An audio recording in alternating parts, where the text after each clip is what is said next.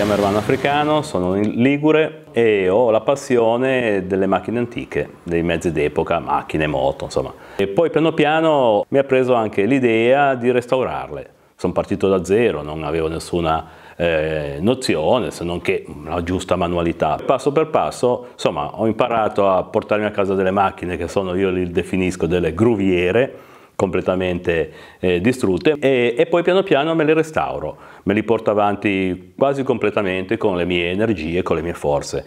Un'auto così, eh, lo vediamo in queste foto, è stata presa che in un fienile, era mal concia, mal combinata, però aveva un suo perché. È una macchina, un esemplare unico, su meccanica Fiat del 48, carrozzata da un carrozziere per ora ignoto, eh, speriamo di capire eh, al più presto di capire chi era il carrozziere e ne studieremo meglio la paternità.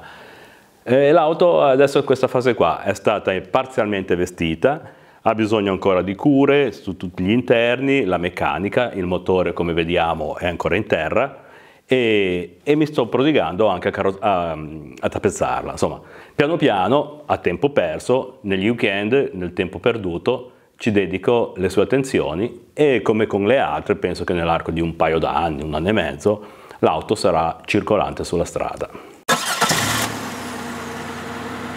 Ecco, come dicevamo del motore, questo è il motore che ormai è stato, come si dice in gergo, chiuso. Il motore è stato eh, prima eh, completamente smontato, eh, ehm, eh allesato, eh, richiuso, eh, pronto per essere ospitato sull'auto. Quello è il cambio, questo qua davanti è il corpo motore con tutti i suoi accessori e adesso deve essere ritrapiantato all'interno dell'auto. Nel periodo del Covid, per esempio, eh, ero qua con le mani in mano, mi sono prodigato a fare la tappezzeria. Questi sono due vecchi sedili, perché l'auto purtroppo era senza sedili, avevo due vecchi sedili che vediamo nelle immagini, proprio distrutti, mi sono messo lì, insomma li ho restaurati lo scafo sotto e poi con dei vecchi sofà, con della stoffa idonea, ho creato i sedili e a quel punto ho fatto anche tutti i pannelli delle portiere. È un'auto che nel suo piccolo comunque voleva avere una sua eh, veleità di, di, lusso, perché attorno alle portiere troviamo questi legni qua, che quando li ho eh, smontati erano completamente avvolti dalla vernice, mal combinati. Pulendoli bene, lucidandoli bene, insomma, stanno prendendo la sua forma e scimmiottano un po' le macchine inglesi con i suoi inserti in legno. Sono convinto che alla fine ci staranno anche molto bene sull'auto. Ecco amici, eh, ora per esempio in queste serate qua mi sono eh, così impegnato a fare il cosiddetto cielino dell'auto. Vedete è una stoffa applicata sul soffitto, ha una sua tecnica che da autodidatta ho imparato come si fa e più o meno ormai me le faccio tutte e sto finendo di farlo, insomma, piano piano smonta, rimonta, per esempio questo qua adesso fa un piccolo difetto, dovrò rismontarlo, sfilare un pelino, insomma, è tutta una lavorazione che comunque bisogna fare, bisogna seguire e piano piano ci arriveremo alla fine anche del cielino dell'auto.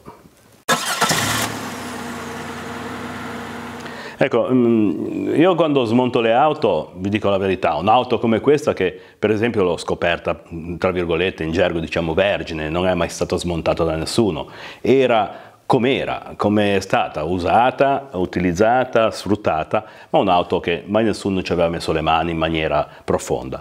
Eh, io sento un senso di pudicità, vi devo dire la verità, perché dico chi ci avrà messo le mani prima di me, le cure che avrà visto quest'auto. Per esempio, questa qua è una Dima che poi verrà riportata di nuovo nella sua sede. Smontandola viene fuori che c'è scritto questo appunto qua e mi ha creato una sorta di emozione, insomma siamo gente così. Selaio Michele, Corso Belgio 112. Ecco, questo signore qua, dico chi sarà stato 70 anni fa, cosa avrà fatto? Come sarà stato, che lavoro faceva, che famiglia avrà avuto. Insomma, alla fine questo elemento qua ha la sua giusta dignità, ritornerà sull'auto, lo metterò a posto, lo riattaccherò, farò quello che c'è da fare, ma voglio che la dima del signor Michele ritorni sull'auto come lo era 70 anni fa.